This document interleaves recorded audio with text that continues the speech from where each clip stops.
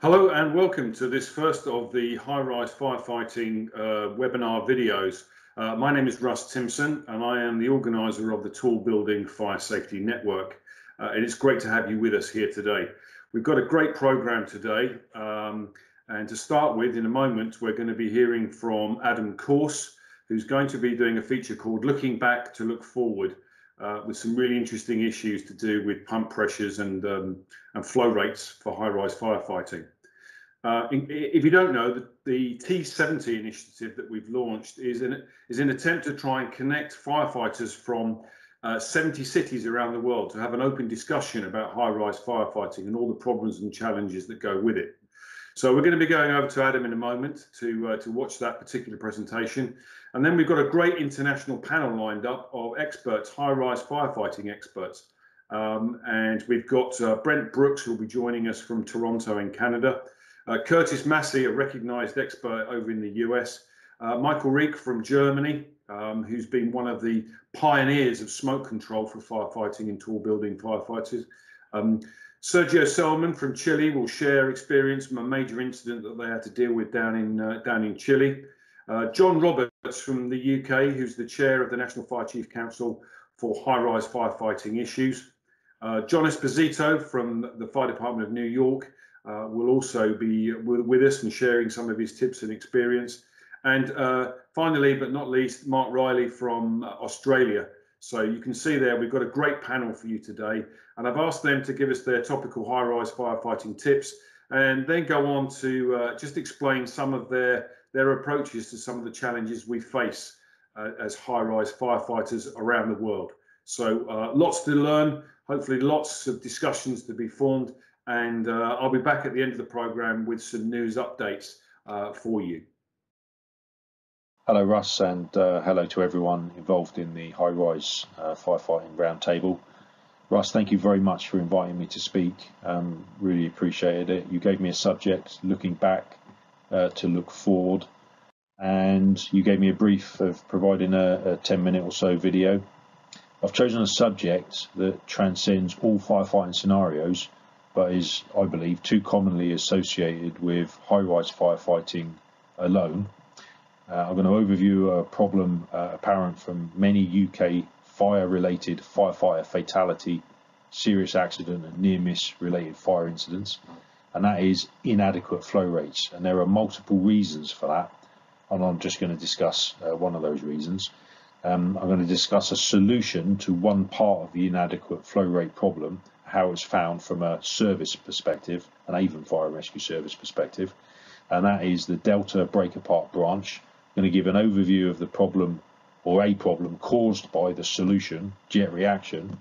Uh, I'm going to discuss a solution to the jet reaction problem, which is basically firefighters understanding firefighting, um, practicing with equipment and using uh, using their equipment to its full capability.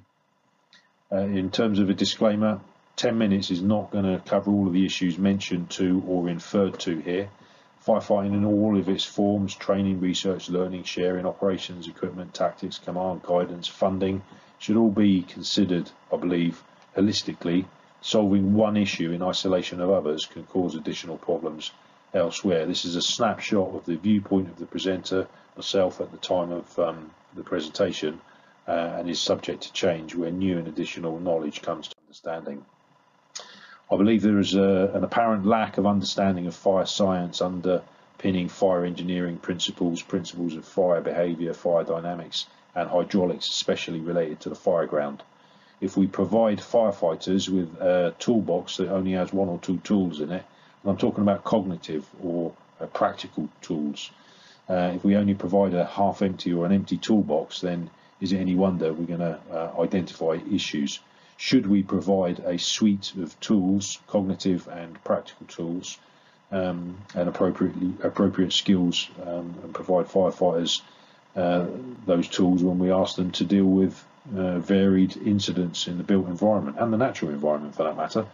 Uh, one aspect, inadequate flow rates, has been identified or inferred to uh, most fire-related UK firefighter fatality serious accident inc incidents for one reason or another. specifically today going to look at blocked firefighting branches for this short presentation. Uh, branches blocked with what? Um, which branches? Baffled branches or smoothbore branches? Baffled branches uh, can block and there are times when they cannot be unblocked uh, easily at all without losing water, turning off the water supply, or you've completely lost the water supply uh, in the first place. They can get blocked with riser debris, pressure-fed fire main debris, open water source debris, appliance tank debris, which normally comes from either open water or pressure-fed um, supplies. Uh, the pictures there show some uh, examples of uh, riser uh, debris that's been found in branches, and in particular the ones across the top there and the one down the side uh, shows riser debris that came from a situation where multiple wet risers in the Bristol area had been converted to dry risers, uh, had corroded, uh, they were quite old risers, and crews only realised this on several occasions when they had gone to uh, properties, high-rise properties, uh, dwellings, and charged the risers, got tried to get jet to work, and then very quickly realised that the, branches uh, became blocked and there was a complete loss of firefighting water. I organised a high-rise drill, uh, completely independent of uh, this. Um, two branches uh, got to work on the eighth floor of a high-rise uh, building that enabled us to do that with a, with, you know, with a, with a, with a balcony that we could use. Uh, the scope there was to test flow meters to highlight the advantages of them in relation to head loss, frictional losses, and just understanding flows. The jet on the left, 450 litres per minute. The jet on the right, uh, if you can call it that, 40 to 70 litres per minute. What we later found out uh, was that the uh, branch, the baffled branch, had become blocked with a coupling washer. It wasn't one of ours, we had every coupling washer on all of the four appliances that were in attendance. We we just it wasn't ours, uh, so it could only have been in the riser. Uh, we assume from uh, maintenance tests or testing, uh, but clearly the consequences uh, uh, were, were, clear. we've seen other incidents or other scenarios where. we've seen debris from tanks block high pressure hose reels. This one here particularly based on the pressures that the um, pump was set at, this should have been flowing about 100 to 110 litres per minute. It was flowing about 40 litres per minute, which is roughly a 60% reduction in expected flow. Carried out some research into several firefighter fatality incidents, including Harrow Court. Uh, I went to Kent to meet Paul Grimwood to understand some flow rate issues. Uh, I then went up to Hertfordshire to look at flow meters in use and to look at the Delta break apart branch that Hertfordshire at the time had uh, developed with Delta Fire and looked at some of the advantages. And there had been some issues with uh, block branches at Harrow Court, as an example. Uh, I also met uh, firefighter Martin Arrowsmith um, and gained a terrific insight into pump operation and the number and flow rates as well. And what that guy doesn't know about pump operation and flow meters is worth knowing. Uh, this is the branch. Uh, it's the Delta break apart branch. It has a uh, baffled uh, uh, head that can, that can uncouple, you can unscrew it, and it also has some smoothbore modules 24, 19, and uh, 15 millimeter. Crew manager Alexi Aragon and Red Watch down at Temple carried out some additional proofing research and produced a paper on the capabilities of the branch for use as an external covering jet and external fire attack, and this was related to the Grenfell Tower incident. Their aim was to move the branch uh, from trials at six stations to being used uh, on all Avon appliances at every station. The headlines from their research, multiple combinations of branches, hose and pressures was tested. The maximum effective jet um, height was 32 meters or the 12th floor from the ground level and this is using the delta branch 10 bar 70 mil hose and the 24 mil nozzle. Significant spray was produced and that did affect branch operator visibility. Uh, but importantly very high jet reactions uh, are potentially produced or are produced when you're when you're flowing uh, that much water. Uh, the picture on the left was a building that the jet simply uh, went over the top. so they needed to find another taller building. And the picture on the right uh, was found, and you can see that the jet there is getting to the 12th floor. So interesting, and, and the other branches won't get into anything like that height, the baffled branches. Uh, the problem, however, is jet reaction. Smoothbore nozzles can produce very significant jet reaction.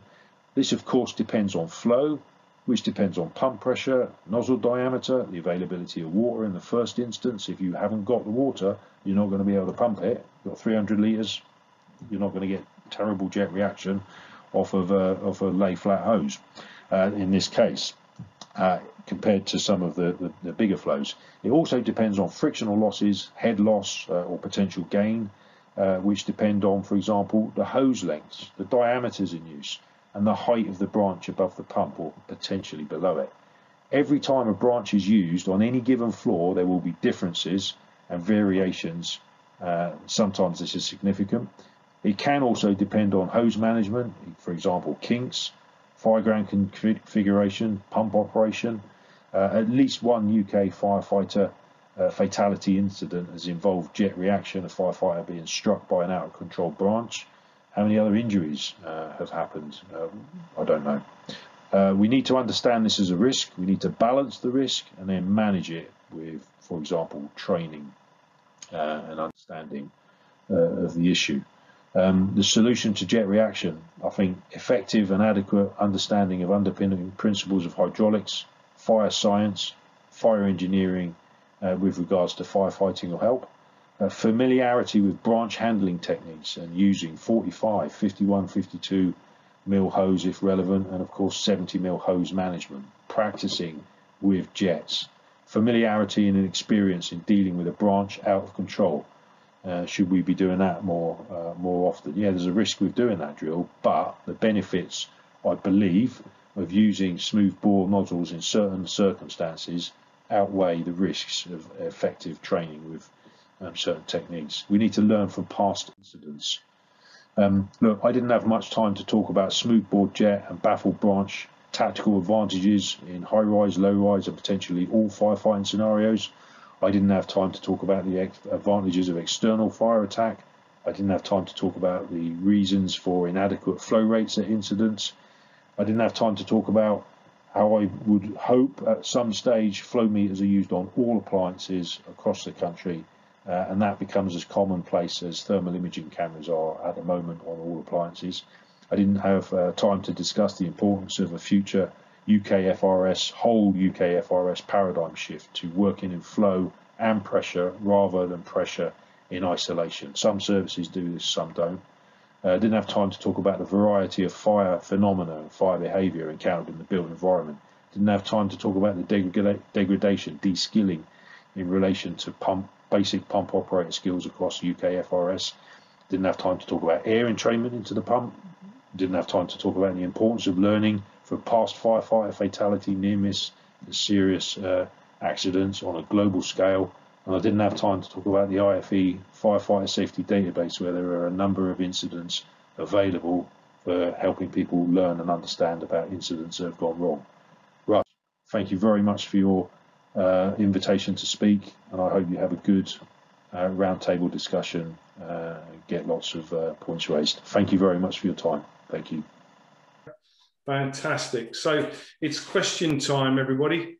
Um, and I think what I'd like to start with first, uh, Brent, uh, with yourself. You heard earlier on that we're having a bit of a debate here in um, in the UK about what happens when we change fire strategies, evacuation strategies in the midst of a fire. So if we have a building which is predicated on a uh, remain in place, stay put, um, and because it's a cladding fire and that now becomes not viable, uh, and we have to now start thinking about getting people out of the building. How do you cope with that? Is that something that you recognise, and what are the, what are the what are the ways that you go around tackling it? So, so with us here in Canada, it's it's really been a timing thing. So we've decided to time every single thing that we do. Um, we hit buttons in our truck that tells us, you know, how long it takes to get our bunker gear on, how long does it take us to um, um, to get to the building address. And our new time, we're calling it our second arrival time for high-rise buildings, and that's how long it takes to get from the parking brake on up to the actual fire location. So in our city, it's an average of six minutes and 24 seconds. So what's going to happen in that six minutes and 24 seconds?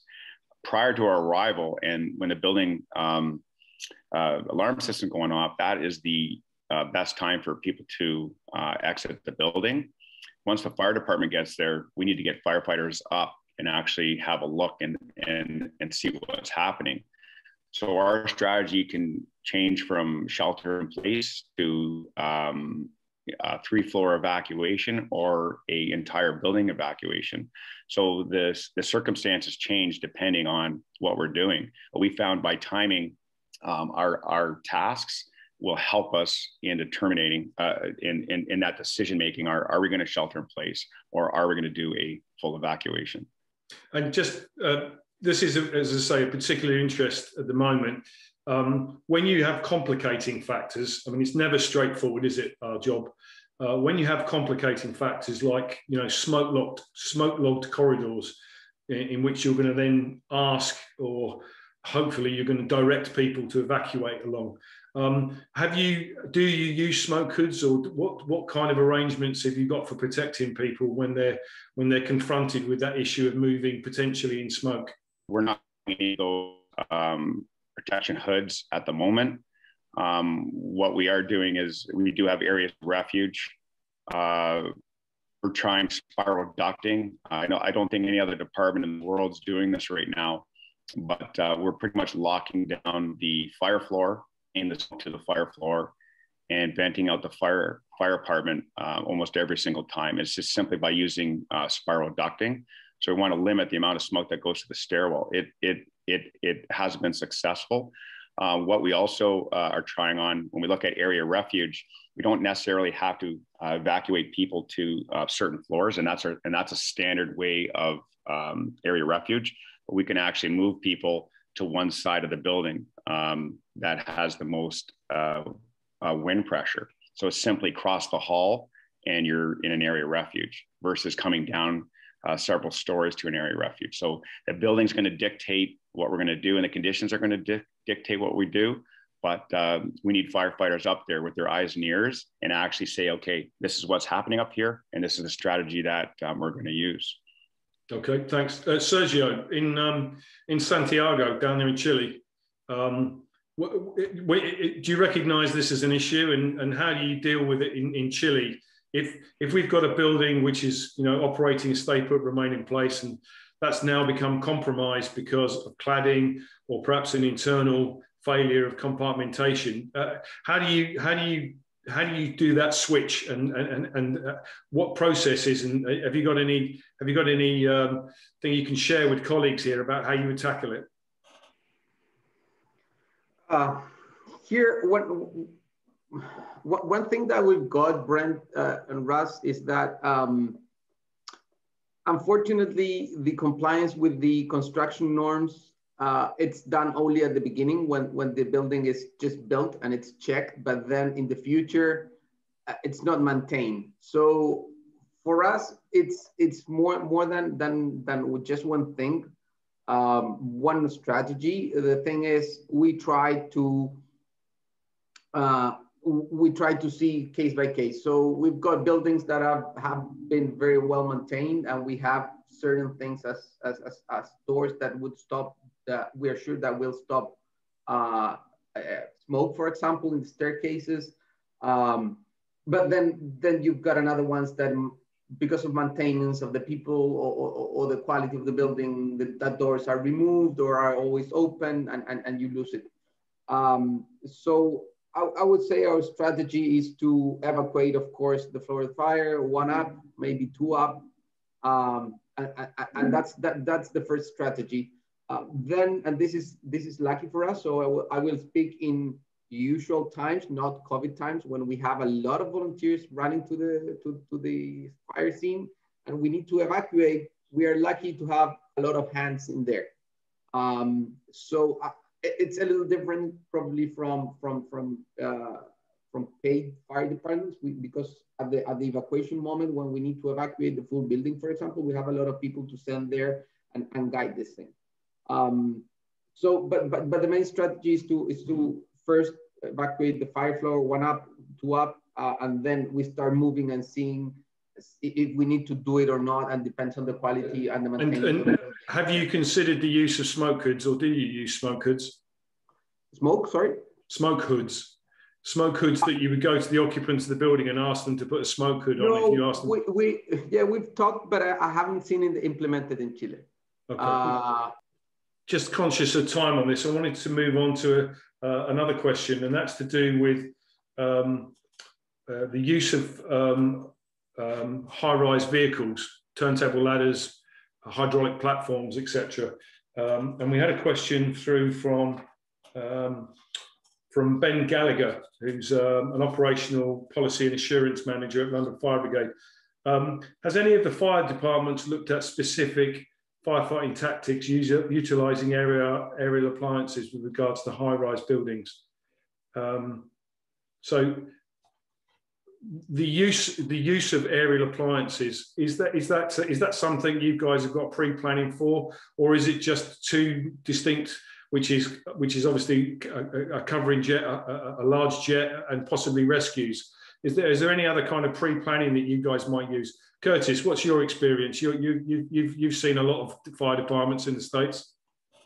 Uh, regarding the apparatus russ yeah i'm just thinking about pre-planning and tactical use of those in terms of getting the guys to think about how they're going to use them in a high rise fire? Well, most of the operation, I'm sure John Esposito and, and Brent would agree, is going to have to occur on the interior of the building.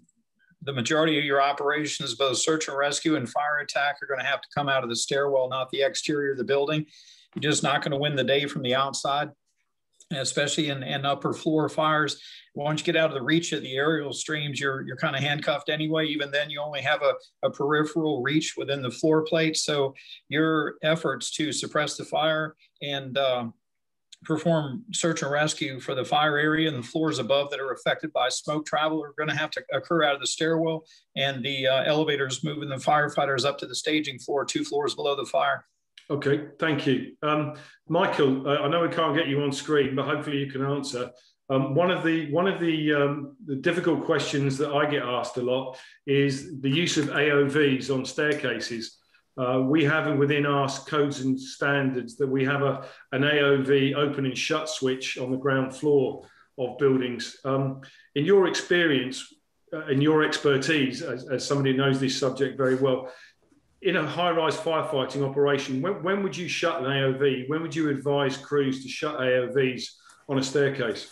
Well, if you have an operating system um, which is maintained and which has some kind of knowledge and programming behind it, we would try not to interfere at all because we would expect that these systems work automatically and we don't have uh, to really work on them because we think it's too complicated for the fire service to really interact and understand uh, in a not automatic mode, but in a hand mode with these uh, systems. Uh, so normally they should work without any interference of the fire service. But yes, if as soon as we start to operate in a building, as soon as we stretch hose lines, we have to realize that we interfere with this design of the building and um, stretching a hose line means keeping a door open and having open doors maybe interferes with this system, but nevertheless, in the first sense, as a fire service, we would expect these systems to be designed to work also when the fire department is working on scene and is stretching their hose lines.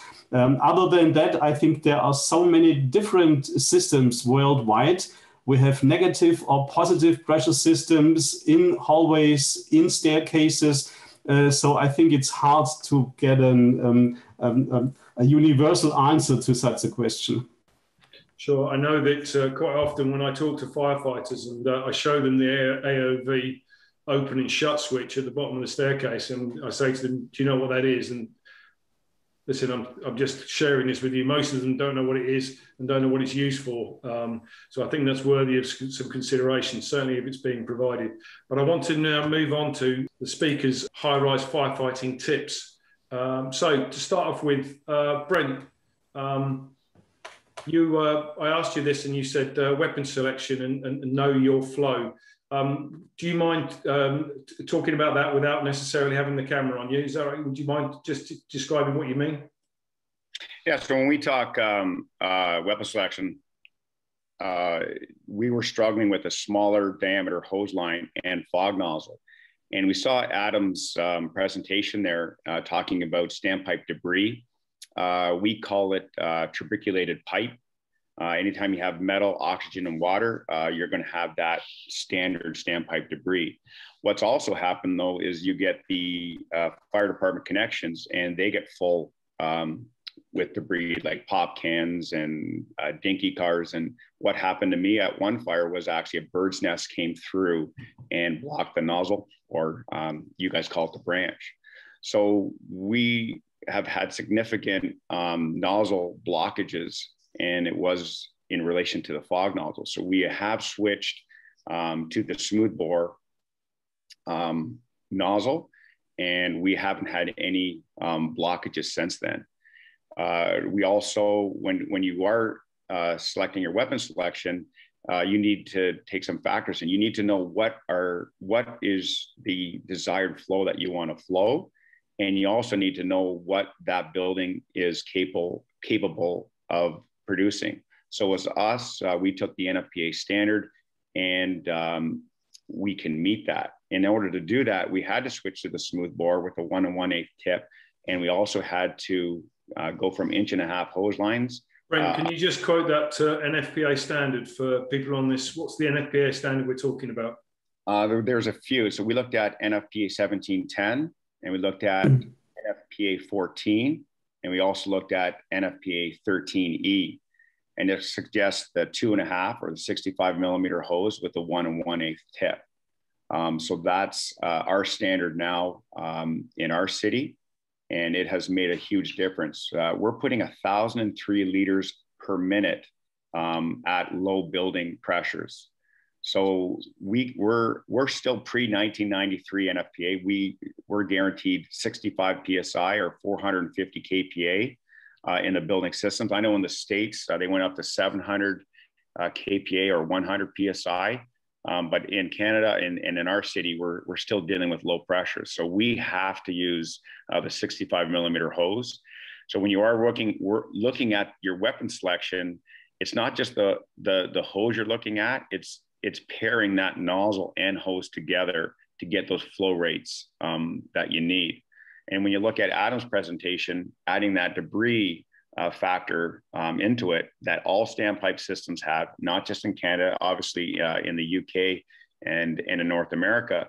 It, it is it is a standard problem that we're dealing with, and that's why we when we selected our weapons, it is it is it is smooth While a lot of firefighters are worried about the nozzle reaction, I sent you a quick video yesterday. Um, we take that 100 pounds of nozzle reaction, we take it to ground, um, and it's it's it's it's very little.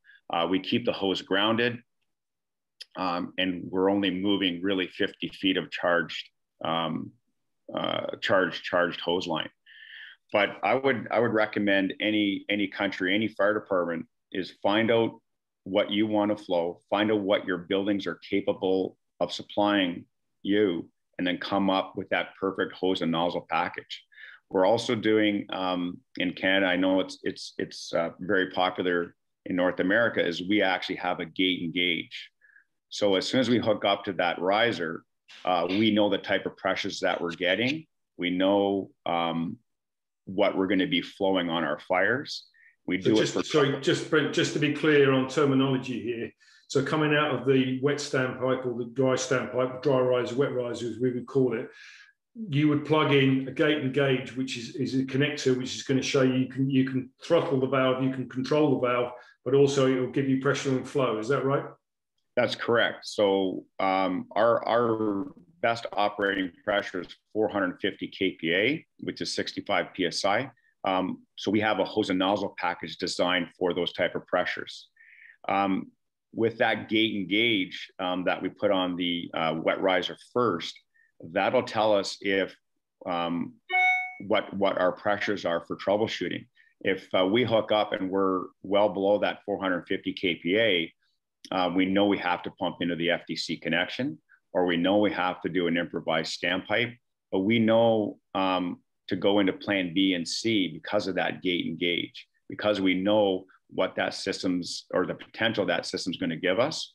And it, and it is by having that gate and gauge. When we add a second attack line, uh, again, we're looking at those gate and gauges. Uh, we do this at our residential house fires. When our engines or our pumpers pull up, we're using our, our gate and gauges on the pump. And we had to start doing that with our high rise fires.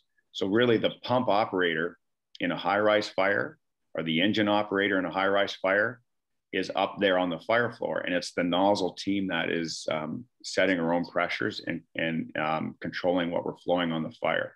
Thanks. That's, that's, that's fantastic tip. Thanks so much, Brent. That's great. Uh, next up, uh, Michael. Thank you.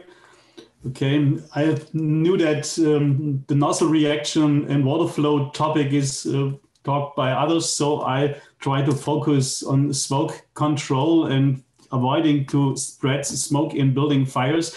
And we all have to realize that our personal and national firefighting experience is influenced by a lot of topics. And we are all children of our history and the training we were given. Uh, I'm really a fan of the Paris Fire Department because they have really well trained um, young firefighters that can do outside operations with hook ladders. My fire departments in Germany would never be able to do this. And it's just an example uh, for me that if you have certain equipment and you train with them, you will use them depending if others maybe solve problems with other tools as well. So I think it's interesting on such an international point of view to look what others are doing and try to think if this fits in your own environment. Next slide, please. Uh, so you have to know your rescue and extinguishment strategy. Uh, do you want to do a full evacuation or defend in place? like in our country in, in, germany we don't deal with the population too much if they feel that they are in danger and they want to leave the building they can do we don't tell them to stay in place they can decide on their own so we have two staircases in our environment with high-rise buildings otherwise we have very safe uh, staircases um, and we have to think if we do an aggressive or a defensive uh, extinguishment and the defensive uh, in our language, um, meaning we think that we don't want to interfere with the burning regime um, of a fire in a building. We just want to more confine them. So you have to know all these basics, and this training is necessary to go on the fight, and you have to train uh, like you fight. In the next slide. Um, for example, the smoke hoods would have been discussed quite a few times. Some countries have them, some use them very extensively, and some others seem never have heard of them at all. Uh, on the right picture, you see one German firefighter with a person uh, which he rescues, and normally we have with every firefighter a smoke hood with a filter. But on the left uh, picture below, this is a four-person RIT team in Germany to rescue a fallen firefighter. But all of these four firefighters have a divider with them so they can actually get one civilian under a smoke hood uh, which flows air. So a four person team can go into a building and rescue four civilians through a smoke filled staircase. And we use these hoods quite extensively. If you don't have them, you not have any experience, you don't need them. Uh, if you have them, you really use them. Uh, another example there are 30,000 uh, smoke curtains used worldwide. There are countries who use them every time they open a door, and there are some countries uh, who never heard of them at all. That's just another topic. But for us in Germany, the stairway security is very important. We would never um, let smoke flow into a staircase when there is no need because we can't control that maybe five minutes later some civilians want to use this stairway as an egress route.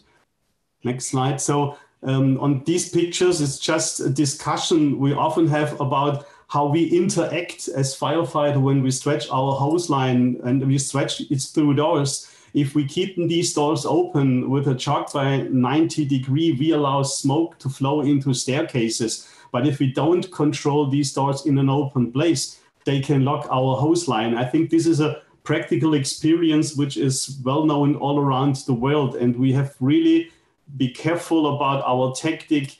Do we allow smoke to travel into a hallway of an of an of a level?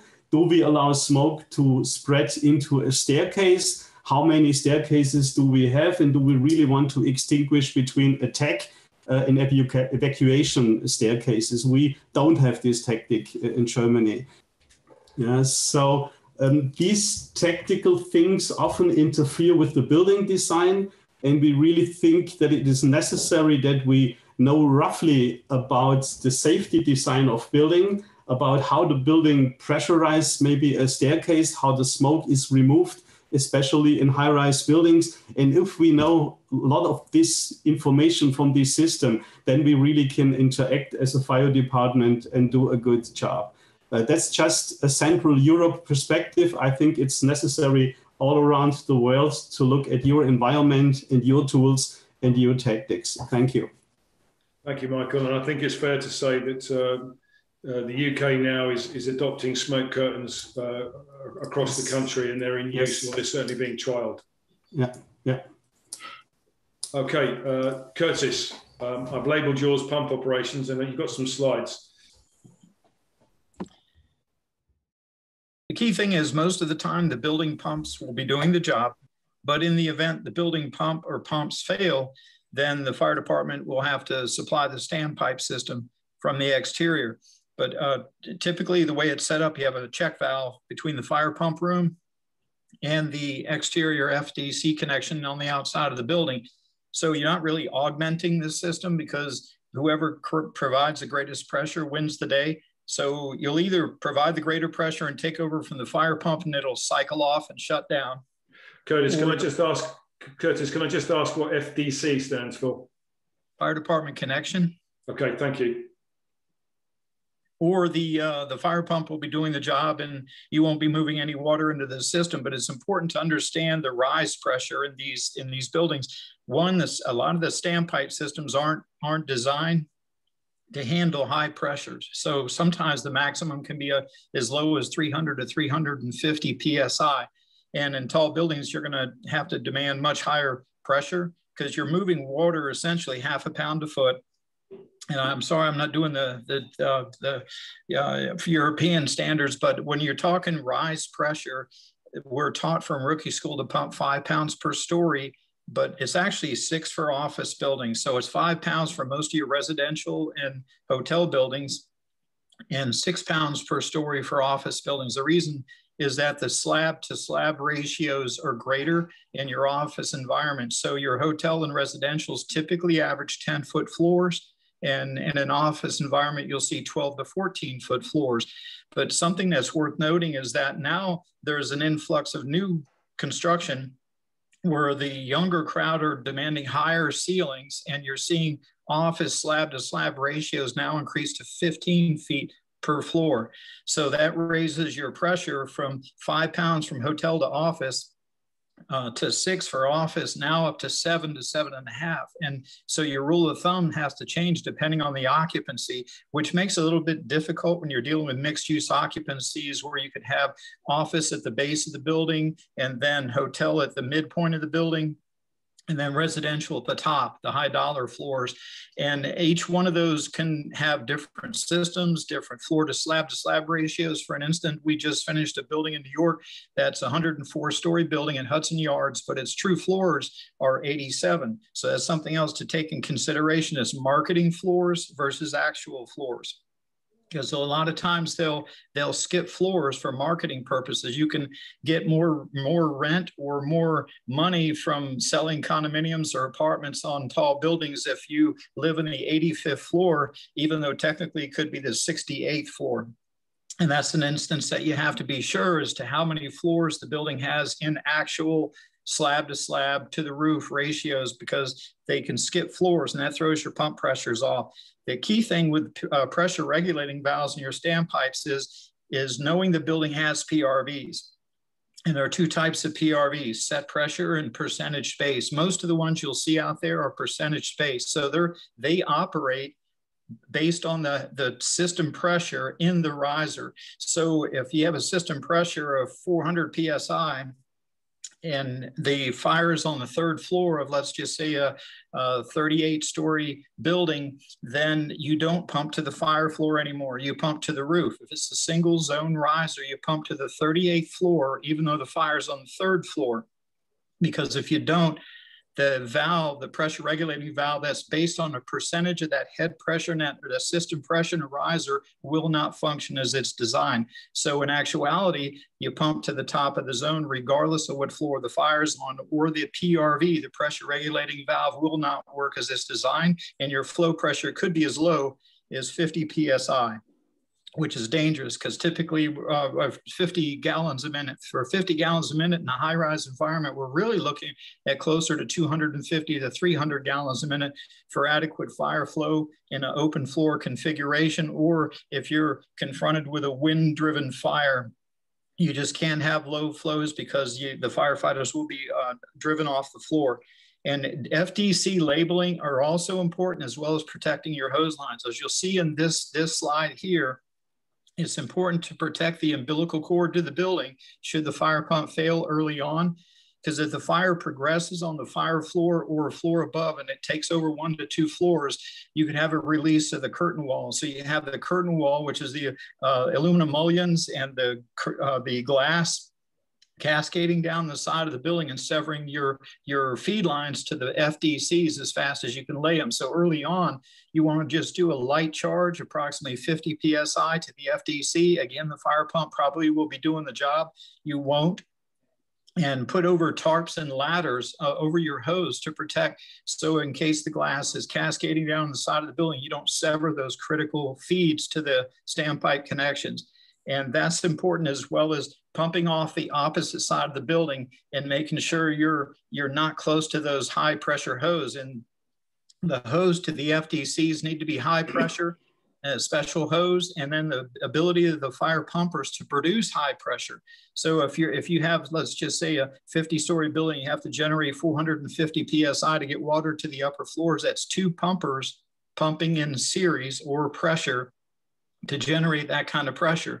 So if it's new pumpers, they may have an automatic dump valve that expels the water and dumps it on the intake side of the pump at approximately 150 psi. So with new pumpers, you may not be able to generate high pressure and pump it into the second pumper that increases the pressure to the FDC.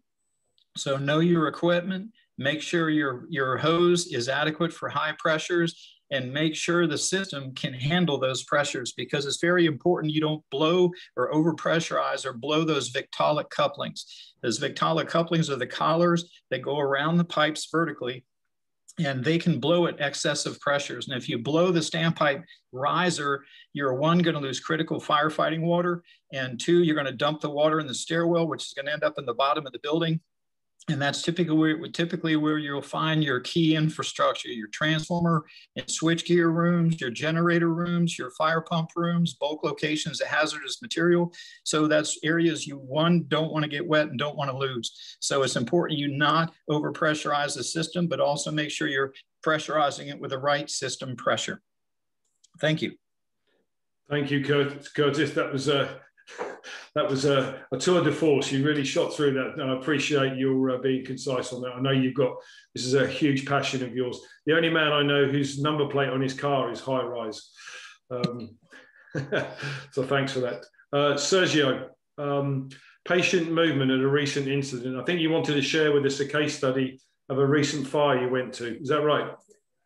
Yeah, correct. Just, just uh, this is a sub subcategory if you want to see it in certain way of, of evacuation people think we just talked and it's it's it's a fire that we had on on january of this year on a hospital um, of, of the public sector. Um, very huge and, and the first slide is just for you to to see the size and and and, and the smoke that was uh, that was that was produced at this point. So uh, subcategory of evacuation people is evacuation of patients in, in, in our way to see it. Um, just first slide is to show you, as I said, uh, the size of the incident. We evacuated over 350, um, 350 patients. Uh, I would say like 20 or 25 were COVID positive. So we had an issue there. Uh, if, if, you can move to the next slide, Russ, please. Um, so so th this is our learning point, some pictures on the evacuation. Um, one, one thing we discovered is, I'm, I'm, gonna, I'm gonna mention a couple of things. One, one thing we discovered is that actually in a hospital fire, uh, three things happened and, and, and we call it that three different fires were going on. So one was actually the fire control, the people with hoses and water. Uh, the next one was the uh, patient evacuation. And the third one was the hazmat that was going on with all the things that were that were proper of a hospital.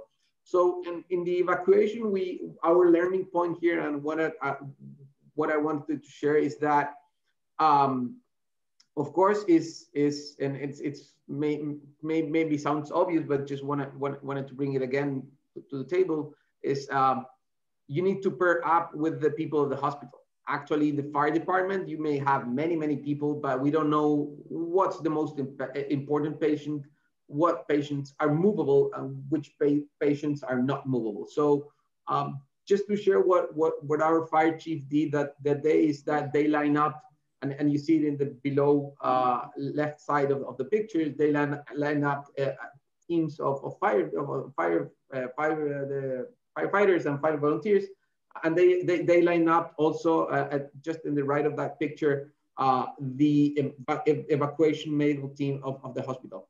Uh, and, and making pairs, you make, you also, you use your manpower and you use the hospital knowledge together to evacuate the people that was uh, probably evacuation, uh, that you could evacuate. Um, we were lucky enough to, to, to, to, make it right, to move 350 people uh, that day. Of course, pre-planning, it's ideal. Uh, if not, just, just wanted to make the point that um, take it slow, uh, a couple of extra minutes. Uh, it's better than rushing and, and, and, giving instructions of, hey, just evacuate because no one takes care of that. Uh, this like a couple of slides, is, this is the command post. I don't know if you're gonna get the Spanish, but in, on the left side of, of the picture, uh, it's, it's, it's a control on the two buildings that had the, had the hospital, five stories, eight stories, uh, and, and, and, and what we expected to evacuate. So you see first, first floor, second floor, of the two buildings and, and they're being evacuated. Uh, and, and, we were counting the patients uh, that we were were being moved at that time. Um, so, so our learning point, I wanted, what, what I wanted to share with you today is um, make it in a rush. We understand that patient moving is super in a hurry, but making it in a rush, the only thing that, that brings to you is um, making making making confusion and probably not getting where you want to be. So just one speed slower, uh, maybe it's it's it's better and, and have the have the control in the command post because it's an important task to to take care in this in these cases. Thanks, Sergio. It looks like it was a, a very large, complicated fire. I think one of the points that comes out of this is going back to the earlier conversation. If we do switch from stay put, remain place to simultaneous. We've had a number of occasions now where we've had 80, 90, 100 families being tipped out onto the street, maybe in adverse weather. Um, and because we're used to stay put, all of a sudden the local authorities now have got a real challenge because they may not be going back in the building again. Uh, and that's been a real issue. Uh, but thanks for that, Sergio. That's great. Uh, John, um, policy, procedures, and training. I know you said it wasn't a sexy subject, but you just wanted to share it with uh, with with colleagues. Over to you. Yeah, thanks, Russ. Uh, I think colleagues have already kind of stated lots of the tactical elements when it comes to dealing with these kinds of incidents. Uh, I, I, think I reflected on this based on the, the comments I made earlier. I hope just just my sounds improved. Can you just indicate, Russ, whether yeah, my no, you're coming through loud and clear. Okay, yeah. So I think the certainly the learning from Grenfell. Um, I wouldn't say that fire and rescue services in the UK have become complacent, but I think we've almost had a bit of an attitude that actually our buildings are safe. Uh, but for a variety of reasons, even historic 1960s concrete high-rise buildings, which have now been repurposed and upgraded, have made us look at this more so now. Uh, so obviously on the back of the uh, the Grenfell recommendations, then in terms of revision of policy, in terms of national operational guidance from National Fire Chiefs Council. uh, through to individual fire and rescue services based on the risks that they face. Uh, clearly, within the UK, we've got a fair bit of rural, but, but lots of urban areas as well. So, if you take London Fire Brigade, we've got 6,000 high rise residential properties above 18 metres. Uh, here in West Yorkshire, we've got over 500. Uh, but then you've got some services in the UK that which you've got none. Uh, so based on the risk, what they pose depends on how they implement policy, uh, what procedures they put in place. Uh, but I think the fundamental part of all of this for me is those things coming together. Uh, certainly with training, exercising, uh, you know, whether that be actual training, which has been more difficult in the built environment during the situation with COVID, uh, but that's certainly something that we need to pick up more so now to put those policies and procedures into the test environment, and ensure that we can do that. Uh, there's been lots of chat uh, in the sidebar regarding PEEPs. Uh, clearly, that's going to be a, a, major issue for us in terms of understanding how we do that based on within the UK. Uh, the responsible just, persons. just, just for the benefit of international colleagues, PEEPs, personal emergency evacuation plan. Can you just briefly explain what that is? Yeah, so it's uh, basically uh, vulnerable people who may live in, in high rise buildings, in this case, who will need assistance in terms of leaving that building. Uh, so within in the UK setting, then the responsible person from a, a, legislation point of view is is the person who comes up with those plans, but clearly as the respondent agency, uh, the fire service have got a duty, I suppose, to ensure that we fulfil that as, as part of that uh, kinds of fulfillment to ensure that those people are safe, which is a huge challenge in itself. Uh, certainly within the UK, we, have got a sliding scale of you know really plush modern apartments which present different problems and construction methods. But at the same time, we've got lots of social housing, which is high-rise premises, uh, and lots of people in those social housing environments may be suffering from a number of vulnerabilities from age through to mobility uh, and how we deal with that is important too. Uh, so for me, the uh, out of those three words, if you like, uh, I think that the training part of it is the very important part of it, uh, coupled with uh, something within the UK, what we call SSRI, site-specific risk information.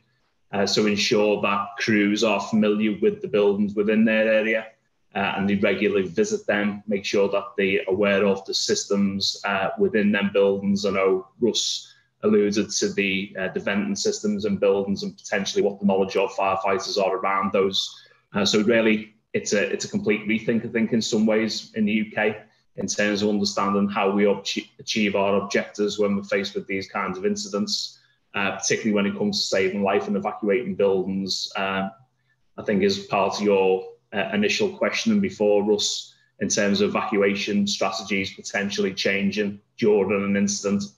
Uh, certainly those that have been following the Grenfell inquiry, you know, there's often terminology and language used around a, a window of opportunity when evacuation strategies could have been changed in terms of allowing and informing those people to evacuate the building uh, during that incident.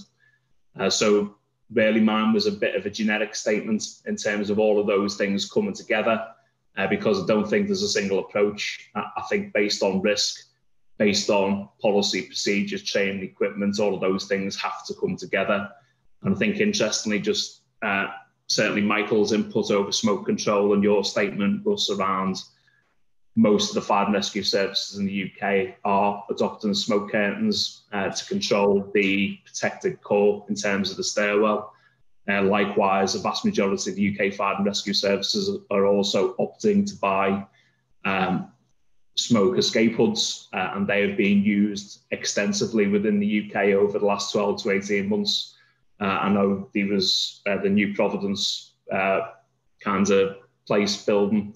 Uh, I think they used 22 uh, smoke escape hoods as part of that incident a few weeks ago.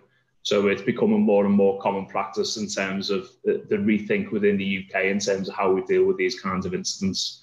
But yeah, not not a sexy sexy kind of three words in that case. But I, I, I, I, think you know certainly uh, all of what other colleagues have spoken about. It's a combination of those things coming together for a successful outcome. Thanks, John, and um, uh, I'm, I'm, I'm, grateful for um, a sense of um, discreet humility, I think, now amongst the UK fire service people. Uh, talking about, I think we have, we have got things to learn and things to share with colleagues who, who, and that's part of the initiative of this group. So thanks, thanks for contributing, John. I really appreciate it. Uh, John, in uh, New York, um, your subject was smoke problems with lower floor fires. Do you want to just um, just fill us in on, on your tips for that? Uh, yes, and it's uh, along the lines of what Michael spoke about earlier. That that you know the the smoke spread throughout the building is very problematic. So the the lower the floor, or I should say, the greater the number of floors above the fire is going to be the greater. It's a greater problem to deal with. So the fire service comes in and puts out the fire, one room fire, small fire on a lower floor, we can't forget about that smoke that's going up through the building. So the building is built to try to limit the spread of the smoke. And again, as Michael said, we open the door to stretch a hose line through there, and that now allows the smoke to get into the stairway. Uh, we send people specifically up to the upper floors to make sure the doors are closed. The stairway doors are closed. We'll identify an attack stair and we'll identify an evacuation stair. And we'll try to get that information to the people in the building, which is very difficult because most of our residential buildings, high rise residential buildings, do not have a central communication system where we're able to send the same message throughout the entire building. So just uh, an important fact to be kept in mind about the smoke spread throughout the building uh, doors open. We are uh, we are piloting the the smoke curtains uh, to put over the the doorways of the attack stair to try to limit that smoke in there. Uh, but it remains the fact that we have an awful lot of smoke that we have to deal with. Uh, we strongly recommend uh, that people shelter in place in their apartments. Um, and when they when they do come out, we'll bring them into another apartment if we can't get them back into theirs. We try not to move them through the through the smoke uh, out of the building. Thanks, thanks, John. Um, last but not least, uh, Mark, uh, fire safety done right. Thanks, Russ, and thanks to all the previous speakers. And it's a it's been a really interesting array of topics so far. Mine is a bit like John's. Though I'm a bit of a preacher on the fire safety front, in that you know to be a to be an effective fire officer you have to have input into the effective design and and construction of of new modern buildings and into the renovation and restoration of older buildings to ensure safety for not only our firefighters but not only the occupants sorry but also our firefighters when we operate in those structures. So I mentioned before we've had a number of small cladding fires in Australia which we've dealt with by having aggressive external uh, uh, fire attacks using 70 millimeter hand ground lines with you know smoothbore branches up to about 25 to 30 meters. Uh, in one case, over 45 meters from one overzealous motor officer who was able to get the the, uh, the pump at maximum capacity and, and pump the water. So uh, one of the issues we have with that is that you don't want to actually rupture the envelope of the structure. So you don't want to break windows or force in any any venting or uh, ventilation shafts that could allow the ingress of, of at worst at, at best smoke at worst flame. So you, you, know it's not only a matter of having part you know tactical skills in firefighting you also have to have knowledge in how buildings work and how we put fire safety into those buildings. We recently had a high rise fire in the centre of sydney and it was on level 32, I believe. It was a fire contained to the room of origin because it was a bounding construction and it was a fire uh, fire compartment. It was contained to the source of the fire, which was a stove. Somebody had put a hairdryer on top of a, an electric stove and, and accidentally turned the electric stove on. It was contained and extinguished by the sprinkler. It was able to be accessed by firefighters through twin stairs one was being used for simultaneous evacuation of the occupants of the fire floor. The other one, firefighters used the fire stairs to get to the fire floor. They were able to use an internal hydrant system to charge a line of 38 millimeter hose and go and put out the surrounding areas of the fire in the fire compartment. Now it sounds like you know it's it's it, it sounds all good to be true, but what it proves to me is in this environment that you know we need to get our fire safety engineering correct the first the first time so that you know the job is easier for our firefighters and it's safer for the building occupants. So again, I know it's it's not as sexy as uh, I really liked Adam's presentation. I learned a lot. We were just starting to install dry risers in Australia. There was a little, there's a lot of hesitation towards going to dry high risers from the wet risers we currently use in our high rise. But the trade-off for us was we now have sprinklers in every building above three levels. So it's it's quid pro quo. You've got to give something to get something. So we'll see moving forward how we live with the dry rises. and I look forward to a presentation from somebody around the world in one of these future opportunities, Russ, that's going to be able to tell tell me, uh, educate me about dry rises because we currently don't have them in Australia, which is what I'm thinking is probably not a bad thing, but unfortunately it's a certainty for us moving forward. Thanks very much for the opportunity, Russ. Yeah, I think what you have got in Australia, and I know, uh, Mark, which is great, is um, the ability to cross connect wet risers with sprinkler systems and also augment from an external pump which is not something that happens around the world. But perhaps we can pick that up as a subject. Okay, so thanks to all of our contributors today, in particular Adam Course for his normal great feature, looking back to look forward, and all of our panelists that you've just heard from. So Brent Brooks, um, Curtis Massey, uh, Michael Reick, John Roberts, um, John Esposito, uh, Sergio Selman, and uh, Mark Riley. Thanks to all of those for contributing. Um, and just a note, if you've got an idea for a feature on this program or you'd like to pose a question to our international panels in the future, please do drop me an email so you can get in contact with me. Uh, the next program that we're hoping to produce is to coincide with the 150th anniversary of the Great Fire of Chicago. So we're, we're hoping to have some uh, some some information about that and something for you to think about and reflect upon. Um, and also, we've got some interesting features in the next one. In particular, the uh, the latest developments on virtual reality training for high-rise firefighting. So look out for that when uh, when we advertise it and, and spread the word. Um, a couple of dates for your diary. Um, the next um, big thing for us is our conference next year in London, the 17th to the 19th of May in London, uh, where we will be hopefully attracting firefighters from all around the world to talk about high-rise firefighting and some of the issues. And in particular, we're we're very interested to get opinions on the subject of firefighters going above the fire in high-rise firefighting, uh, and and whether or not they're wearing breathing apparatus. So if you've got a view on that or an opinion, uh, then please get in touch.